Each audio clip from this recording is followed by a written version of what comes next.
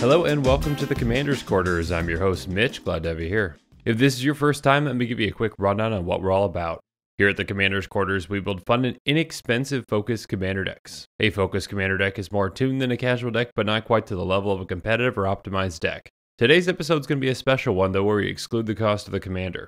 With just a $25 budget, it's pretty much impossible to build around some commanders unless we do so.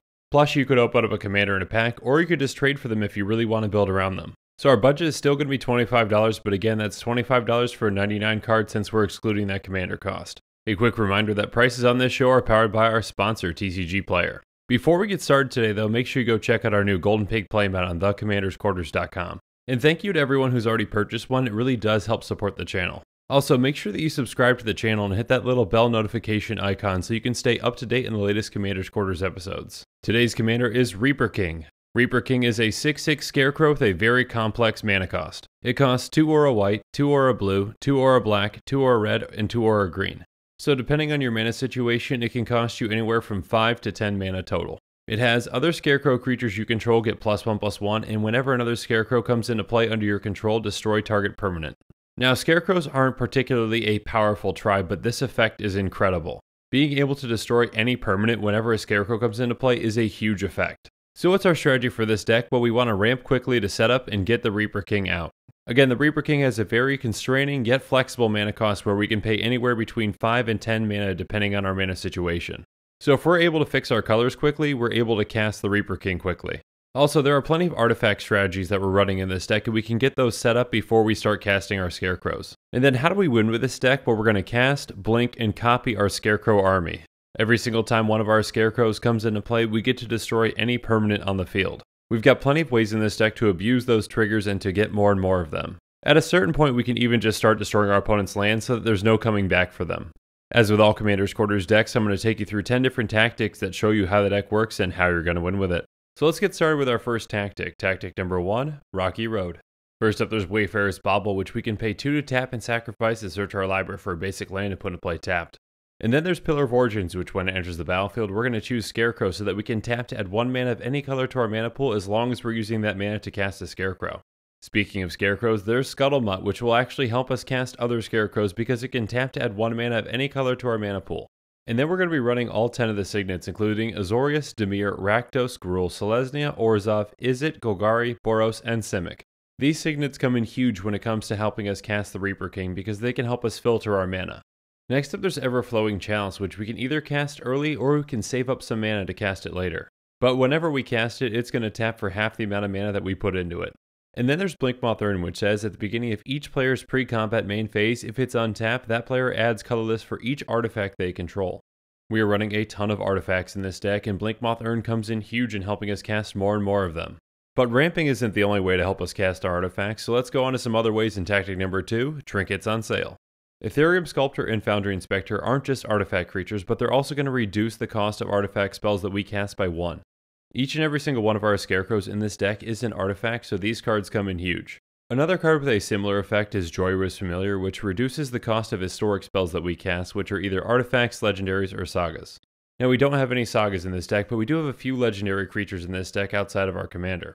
But again, the main reason that this is in the deck is to reduce the cost of all of our artifacts, including our scarecrows. Alright, so we've talked about ramping and setting up some cards to help reduce the cost of our artifacts, but there are some other things that we can do to set up to make sure that we succeed with this deck.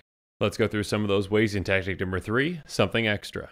First up, there's Padeem, Consul of Innovation, which has artifacts you control have hexproof, and at the beginning of your upkeep, if you control the artifact with the highest converted mana cost or tied for the highest converted mana cost, draw a card. So Padeem serves a double purpose in this deck. Not only does he protect our artifacts, but he can also provide us with some card advantage. With the Reaper King in play alongside Padeem, we're pretty much always going to be drawing a card during our upkeep since its converted mana cost is 10. And then we're going to be running some cards that help us with card selection. First up, there's Artificer's Assistant, which says whenever you cast a historic spell, scry 1. And then there's Riddlesmith, which says whenever you cast an artifact spell, you may draw a card. If you do, discard a card. And with Quicksmith Genius in play, whenever an artifact enters the battlefield under your control, you discard a card and then draw a card. So each of these cards goes about it in a different way, but again, we're going to be getting some good card selection whenever we cast an artifact. And again, since the vast majority of spells in this deck are artifacts, we're going to get plenty of value out of these cards. But perhaps the card that's going to provide us with the most value is Jhoira Weatherlight Captain. Jhoira says, whenever you cast a Historic spell, draw a card. So now instead of getting card selection whenever we cast an artifact, we're going to get card advantage. Jhoira helps us draw into more and more scarecrows that we can cast to destroy more and more permanents. Now we've been talking a lot about those scarecrows, but we really haven't gotten to any yet. And it really wouldn't be much of a scarecrow tribal deck without them, so let's go on to tactic number 4, Cloth and Straw. Now most tribal decks like elves, goblins, or any of the other popular tribes really have a lot of cards to pick from. But unfortunately for us, there are really only 31 actual scarecrows in Magic. So we are going to be playing some less than optimal creatures in this deck, but again remember that with all those scarecrows stapled onto them as long as Reaper King's in play is destroy target permanent when they enter the battlefield. So first up we've got Jawbone Skullkin, which is a 1-1 for 1 that we can pay 2 to make target red creature gain haste until the end of the turn. Now we don't have too many red creatures in this deck, but we can give our commander haste with this card. And then there's Field Creeper, which is just a 2-1 for 2. Fang Skullkin is also a 2-1 for 2, but we can also give target black creature Wither until the end of the turn by paying 2. And next up is Chainbreaker, which is a 3-3, but it enters the battlefield with two minus 1 minus 1 counters on it. We can pay 3 with it though to tap it to remove a minus 1 minus 1 counter from target creature. And then there's Pili-Pala, which we can pay 2 to untap it to add 1 mana of any color to our mana pool. Now this effect generally doesn't come in handy for us, but again, it's just a Scarecrow for 2, so being able to destroy any permanent for just 2 mana is huge. And next up is Wicker Witch, which is just a 3-1 for 3. Lurebound Scarecrow has a much better body for its mana cost, but when it comes into play, we have to choose a color, and when we control no permanence of the chosen color, we have to sacrifice it. And then there's Tatterkite, which can't have any counters placed on it, but again, we just care that it's a Scarecrow. Next up is Hoof Skullkin, which we can pay 3 to give target green creature plus 1 plus 1 until the end of the turn. And then there's Harvest Hand, which when it dies, it transforms into Scrounge Scythe, which gives equipped creature plus 1 plus 1. Next up is Watchwing Scarecrow, which has Vigilance as long as we control a white creature, and has Flying as long as we control a blue creature. And then there's Scrap Basket, which we can pay 1 to make it all colors until the end of the turn. Next up is Wicker Warcrawler, which starts off as a 6-6 for 5 mana, but whenever it attacks or blocks, we put a minus 1 minus 1 counter on it at the end of combat. And next up is Blazethorn Scarecrow, which has haste as long as you control a red creature and has wither as long as you control a green creature. Finally, there's Thornwatch Scarecrow, which has Wither as long as you control a green creature, and it has Vigilance as long as you control a white creature. Again, as long as our commander's in play, it's going to fulfill all those color requirements for these types of cards. As I mentioned earlier, when you're running a tribe that doesn't have many creatures to pick from, there are going to be less than optimal choices. But all of these creatures become infinitely better if Reaper King is in play when they enter the battlefield. However, not all scarecrows are bad, there are definitely some that are useful to us outside of destroying a permanent. Let's go through them now in tactic number 5, the real deal. First up, there's Heap Doll, which has Sacrifice It, remove target card and graveyard from the game. There are plenty of graveyard focused decks, and we can really throw a wrench into them just by removing one of their key cards from their graveyard. And then there's Wildfield Scarecrow, which we can pay 2 to sacrifice it to search our library for up to 2 basic land cards and put them into our hand. This deck is primarily blue, but we do have splashes of other colors in there, and again, if we've got all 5 of our colors, we can cast Reaper King for cheaper. Next up is One-Eyed Scarecrow, which has creatures with flying your opponent's control get minus 1, minus 0. This card can definitely come in handy against any decks that focus on flyers like the Locust God or Sai. And then there's Lockjaw Snapper, which has Wither, and when it's put into a graveyard from play, we put a minus one minus one counter on each creature with a minus one minus one counter on it. This is a pretty unique effect, and it can come in handy in shrinking down some opponent's armies because we do have a couple of creatures that do have Wither or can get it. And next up, we're running three creatures that deal with Persist. When a creature with Persist is put into the graveyard, as long as it had no minus one minus one counters on it, it comes back into play with a minus one minus one counter on it. So as long as we control a black creature, Wing Rattle Scarecrow and Rattleblaze Scarecrow will both come back into play when they die. And then for just 2 mana, we can give target white creature persist until the end of the turn with Antler Skullkin's ability. This can come in huge in helping us save the Reaper King. Another card that can help save the Reaper King is Shell Skullkin. By paying 3, we can give target blue creature Shroud until the end of the turn. Again, this deck is primarily blue, and we are running a decent amount of blue creatures outside of the Reaper King like Jhoira and Padeem. And Shell Skullkin's ability really can come in handy in a pinch. So we've talked about all the scarecrows that we're going to be using in this deck, but there are other cards that are kind of like scarecrows. Let's talk about them now in tactic number 6, Intimidating Imitation. First up there's Moth Dust Changeling, which is a shapeshifter that has Changeling. Changeling means that this card is every creature type at all times. And because of this, that means that all creatures that have Changeling are also Scarecrows. So again, if Reaper King is in play, by casting Moth Dust Changeling for just one mana, we can destroy any target permanent. And then there's Taurean Mauler, which is a threat on its own outside of just destroying a permanent. It has Changeling, and whenever an opponent casts a spell, you may put a plus one plus one counter on Taurean Mauler. In a multiplayer format like Commander, this creature can get huge very quickly. And finally, there's Changeling Berserker, which is another creature with Changeling, and it has haste and champion a creature. So when it comes into play, we have to sacrifice it unless we remove another creature we control from the game, and then when it leaves play, that card returns to play.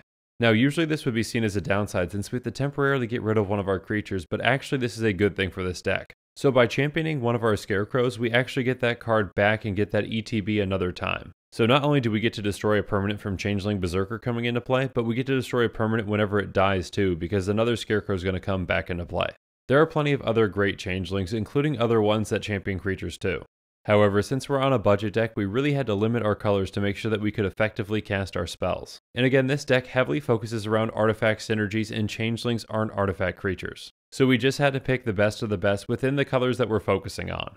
So there are actually even more ways to get that Scarecrow enter the battlefield effect outside of changelings. Let's go through them now in tactic number 7, buy one, get one. First up, there's Cackling Counterpart, which is an instant that's going to create a token that's a copy of target creature we control, and we can flash it back for 5 blue blue. And then there's Quasi Duplicate, which does pretty much the exact same thing, but it's a sorcery, and instead of having flashback, it has Jumpstart, so we can cast this card from our graveyard by discarding a card in addition to paying its other costs. So both of these cards in different ways are able to copy a Scarecrow twice. And then there's Mimic Vat, which has whenever a non-token creature dies, you may exile that card. If you do, return each other card exiled with Mimic Vat to its owner's graveyard. And then at any time, you can pay 3 to tap it to create a token that's a copy of a card exiled with it. It gains haste, exile it at the beginning of the next end step. So essentially, whenever one of our scarecrows dies, we can exile it with Mimic Vat, and then we can pay 3 to create a token of it.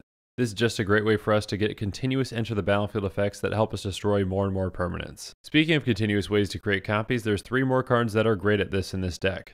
First up, there's Flame Shadow Conjuring, which says whenever a non token creature enters the battlefield under your control, you may pay red. If you do, put a token onto the battlefield that's a copy of that creature. That token gains haste, exile at the beginning of the next end step. So now, whenever we cast one of our scarecrows, we can just pay an extra red, and if we do, we get to destroy an extra permanent. And next up is Minion Reflector, which pretty much does the exact same thing, but instead of paying a red, we're going to pay 2 mana. And finally, there's Mirrorworks, which says whenever another non token artifact enters the battlefield under your control, you may pay 2 if you do create a token that's a copy of that artifact. So this not only works for our scarecrows, but we can use it on any of our artifacts in this deck. So we've talked about a lot of great cards in this deck, but how do we get to some of those cards more effectively?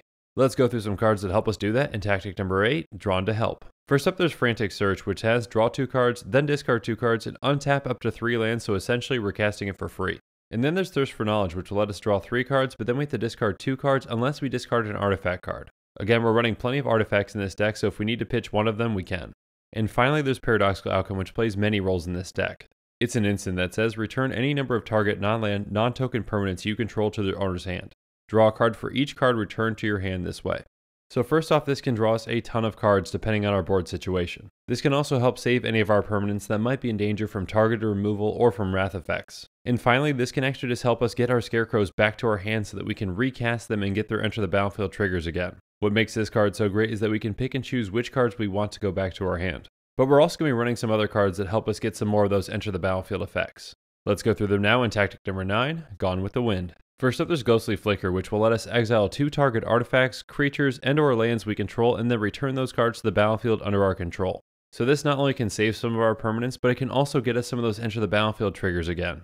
And then there's Eerie Interlude, which is a fantastic card for this deck.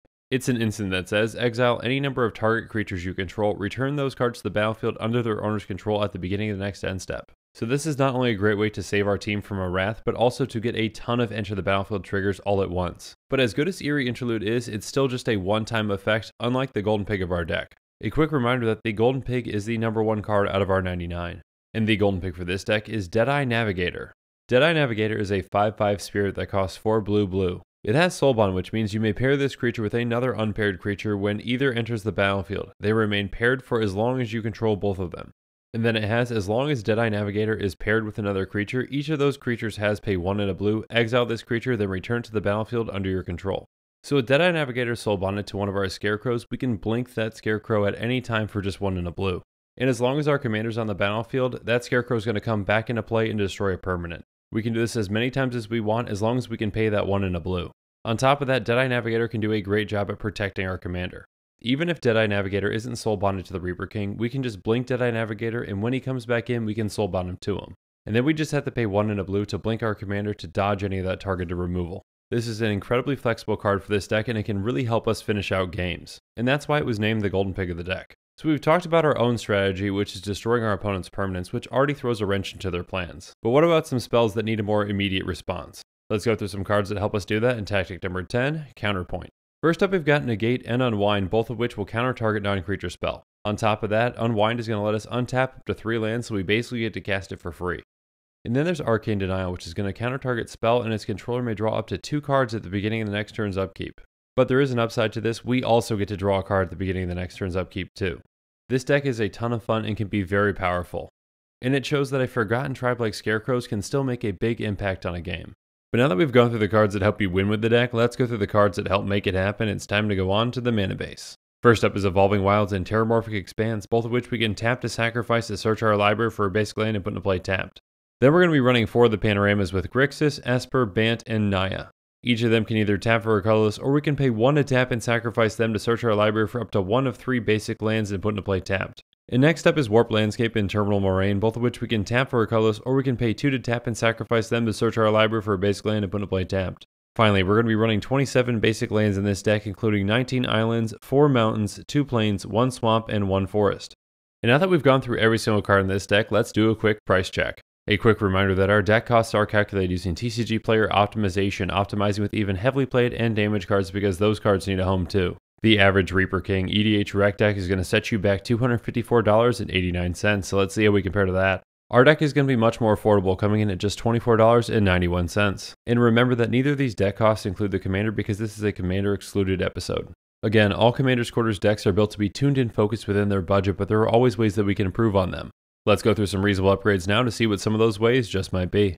First up, there's Ghostway, which comes in at $7.98. It's an instant that costs 2 and a white, and it says, remove each creature you control from the game. Return those creatures to play under their owner's control at the end of the turn. This card is very similar to Eerie Interlude and is a great effect for this deck for getting us a ton of enter the battlefield triggers at once. And then there's Brago King Eternal, which comes in at $2.31. Brago is a 2-4 spirit with flying that costs 2 white blue. It has whenever Brago King Eternal deals combat damage to a player, exile any number of target non-land permanents you control and then return those cards to the battlefield under their owner's control. This is just an incredible repeatable effect that will help us get a ton of Scarecrow enter the battlefield triggers each turn. And next up there's Panharmonicon, which comes in at $6.34. Panharmonicon is an artifact that costs 4, and it says if an artifact or creature entering the battlefield causes a triggered ability of a permanent you control to trigger, that ability triggers an additional time. So with this and our commander in play, anytime a Scarecrow enters the battlefield, it's going to destroy two permanents instead of one. And then there's Blade of Selves, which comes in at $5.02. It's an equipment that costs 2 and it costs 4 to equip. It's going to give the equipped creature Myriad, which means whenever it attacks for each opponent other than a defending player, you may create a token that's a copy of that creature that's tapped and attacking that player or planeswalker they control. Exile the tokens at the end of combat. When we have this equipped to Reaper King and it attacks, it's going to create 3 new tokens of Reaper King. When each of those comes into play, they're going to see each other and destroy a ton of permanents. Next up is Helm of the Host, which comes in at $2.95. Helm of the Host is a legendary equipment that costs 4 and it costs 5 to equip. It says at the beginning of combat on your turn, create a token that's a copy of equipped creature, except that that token isn't legendary if equipped creature is legendary. The token gains haste. With just a few turns with this attached to the Reaper King, it gets out of control very quickly. And finally, there's Rite of Replication, which comes in at $4.09. It's a sorcery that costs 2 blue blue, but it does have kicker 5. It says put a token onto the battlefield that's a copy of target creature. If it was kicked though, put 5 of those tokens onto the battlefield instead. So if we kick it and we target Reaper King, we're going to create 5 copies of it. When all these come into play and see each other, we get to destroy 25 permanents. In most cases, this is pretty much just game over for our opponents. And with that, our show is coming to a close, but I really just want to hear about what you guys think about this deck, so why don't you let me know in the comments below. When you're buying decks like this one, or just individual cards, make sure you use that deck list link in the description below. Because not only will you get great prices on TCG Player, but you're also going to be supporting this show because they sponsor us. And make sure you follow us on social media so you can get some early hints on who the next commander just might be. Links to our social media accounts can be found in the description. Also in the description, you'll find a link to the Commander's Quarters Patreon page, and I just want to say a quick thank you to the patrons who've subscribed so far. There are many benefits to being a patron for the Commander's Quarters, including being able to vote on future commanders for deck techs. There's even a general tier where you get your own personalized deck tech dedicated to you. I truly couldn't do this without all of your support, so from the bottom of my heart, thank you. If you haven't already, make sure you subscribe to the channel and check out some of our other videos on budget deck techs, commander excluded deck techs, and super budget episodes. And with that, I'm out of here. Thanks again and have a good one.